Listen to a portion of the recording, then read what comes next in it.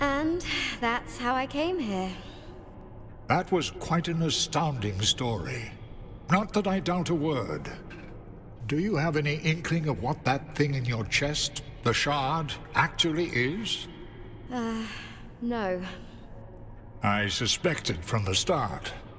But now that I'm getting a better look, I'm certain. It is a small part of the Aurolith, an artifact made or discovered by the predecessors. Oh, who were they? A pre-human race, Kurtanak's brood. It's not important.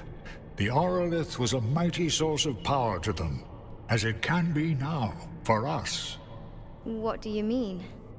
With the complete Aurolith, we could use it to power a defensive shield the Smith Ilmarin has designed. The Celestial Dome. It will stretch over the entire city, an impregnable barrier. The plans are drawn. All that we lack is a sufficient source of energy. Oh, that's wonderful. So, you know how to get it out? The shard? No, not yet. But don't worry, Ilmarin will look into it. I had hoped...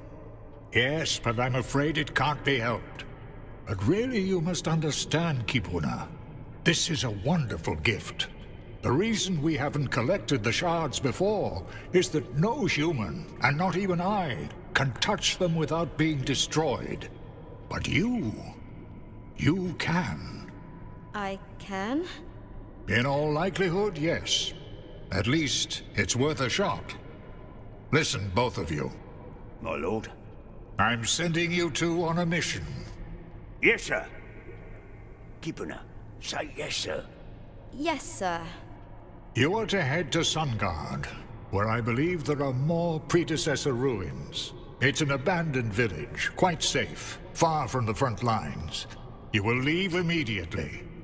Yes, sir. This is a hopeful mission, but I cannot spare any soldiers or ships for it. You've already commandeered a vessel, so use that. Go to Sungard and see if you can find another piece of the Aurolith.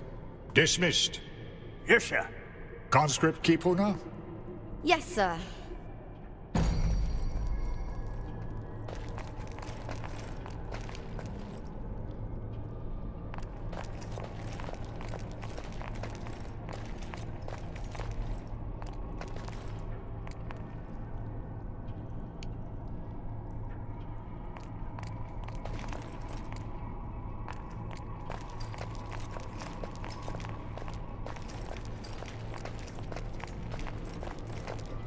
This is great, Kipuna. Perfect. A mission from Lord Anthior himself. I thought they could remove the shard, and that I could stay here in Kalevala where it's safe. You have a, a, an opportunity to serve Kalevala, to prove your loyalty and to earn your security, not to beg for it like the rest of the homeless. I suppose.